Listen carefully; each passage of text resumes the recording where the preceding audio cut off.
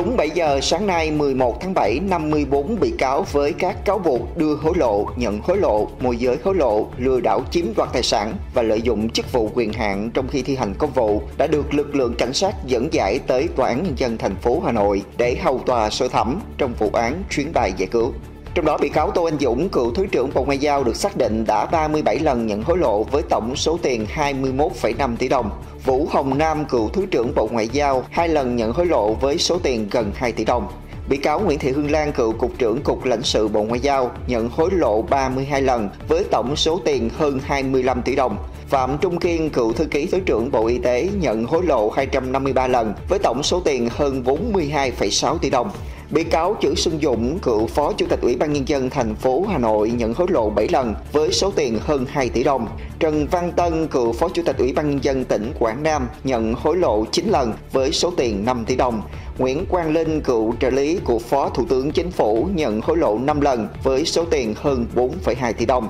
Cùng bị truy tố về tội nhận hối lộ còn có một số đại sứ cán bộ ngoại giao làm việc tại Nhật Bản, Malaysia, Nga, Angola. Tòa án Nhân dân thành phố Hà Nội cũng đã triệu tập khoảng 60 người có quyền lợi nghĩa vụ liên quan và 40 người làm chứng đến phiên tòa.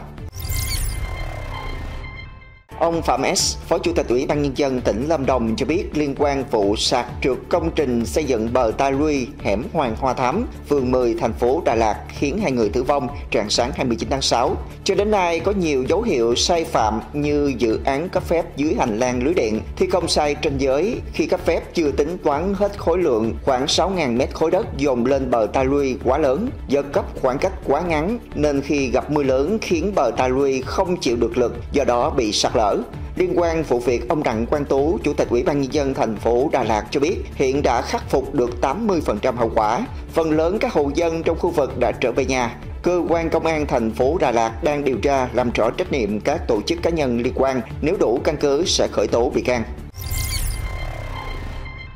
Sáng 11 tháng 7, Công an thành phố Thanh Hóa, tỉnh Thanh Hóa cho biết, cơ quan cảnh sát điều tra đã khởi tố bắt tạm giam Đỗ Ngọc Hà, 38 tuổi, giảng viên trường đại học Hồng Đức về hành vi trộm cắp tài sản. Theo điều tra ban đầu, khoảng 21 giờ 30 phút tối 23 tháng 6, lợi dụng việc cơ quan đi sự kiện ở Sầm Sơn, trời mưa to, nên Hà đến trường cắt điện, phá khóa cửa phòng kế toán lấy trộm gần 130 triệu đồng và một máy tính sách tay. Sau khi thực hiện vụ trộm, Hà thuê xe ôm đến nhiều địa điểm khác nhau để bán máy tính sách tay. Riêng số tiền trộm được, Hà đem trả nợ. Đỗ Ngọc Hà là tiến sĩ giữ chức phó trưởng bộ môn, giảng dạy tại khoa nông lâm ngư nghiệp trường đại học Hồng Đức.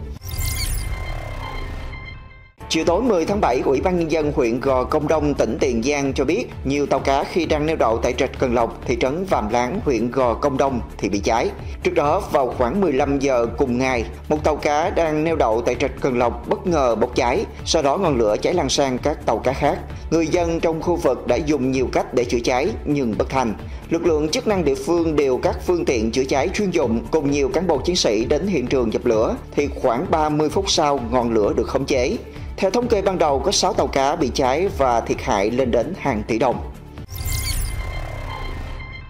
Một nam hành khách về sân bay nội bài đã đánh rơi chiếc ví cầm tay. Bên trong chiếc ví có khoảng hơn 100 triệu đồng, một điện thoại Vertu trị giá khoảng 100 triệu đồng, một điện thoại iPhone, các gọi thẻ ngân hàng, giấy tờ tùy thân, bằng lái xe và các vật dụng cá nhân khác. Sự việc xảy ra vào ngày 6 tháng 7, ngay sau khi phát hiện năm hành khách đã quay lại nhà ga T1, cảng hàng không quốc tế nội bài trình báo và đề nghị hỗ trợ. Sau nhiều giờ trà soát camera, các nhân viên phòng trực camera giám sát an ninh hàng không đã chú ý đến hình ảnh một người đàn ông và một người phụ nữ có vẻ cú xuống như nhặt vật gì đó, rồi lên xe tải ngay cạnh rời khỏi sân đổ. Bằng các biện pháp nghiệp vụ, sau khoảng một giờ, đồn công an nội bài đã có số điện thoại của người lái xe tải, gọi điện và được người lái xe tải xác nhận là có nhặt được chiếc ví nhưng đã về tới nhà tại huyện Yên Thế, tỉnh Bắc Giang. Ngay trong đêm, người lái xe tải đã có mặt tại nhà ga hành khách T1 Nội Bài và chuyển chiếc ví cho đại diện đồn công an Nội Bài. Đến sáng hôm sau, chủ nhân của chiếc ví đã nhận lại tài sản từ chiến sĩ đồn công an Nội Bài.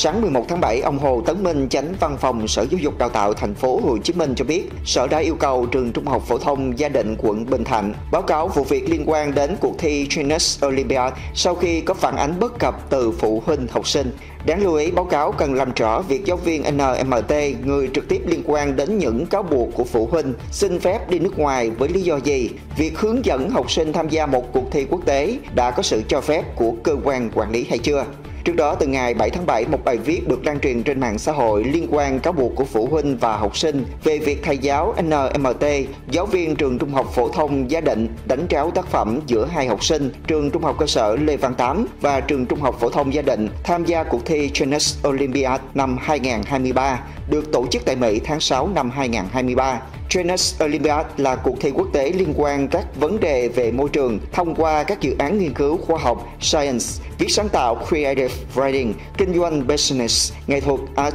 âm nhạc music, làm phim ngắn short film.